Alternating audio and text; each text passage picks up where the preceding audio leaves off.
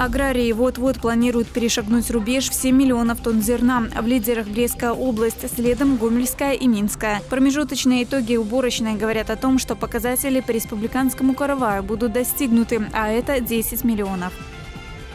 Министерство образования утвердило новый факультатив «Мое психологическое благополучие и помощь сверстникам в кризисной ситуации». Занятия начнутся уже 1 сентября и будут проводиться для учеников 8-11 классов. Программа рассчитана на 35 часов. Запреты и ограничения на посещение лесов действуют в более чем 80 районах страны. Заходить в угодье свободно можно только в Витебской области. Больше всего закрытых территорий в Минском и Гомельском регионе. За ситуацией можно следить на интерактивной карте Минлесхоза. На выходных на Орловского горела квартира. О ЧП в полпервого ночи спасателям сообщили соседи. Огнеборцы сработали оперативно. В результате обошлось без жертв, но с материальным ущербом. Предполагаемая причина – неосторожность при курении.